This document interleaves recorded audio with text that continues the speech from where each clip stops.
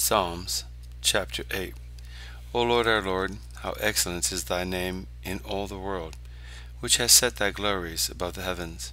Out of the mouth of babes and sucklings hast thou ordained strength, because of thine enemies, that thou mightest still the enemy and the avenger.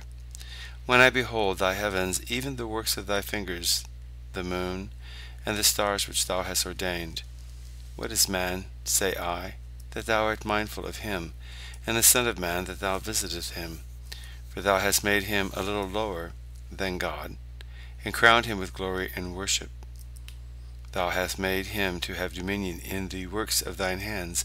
Thou hast put all things under his feet, all sheep and oxen, yea, and the beasts of the field, the fowls of the air, and the fish of the sea, and that which passes through the paths of the seas. O Lord our Lord, how excellent is thy name in all the world. End of Psalms chapter 8.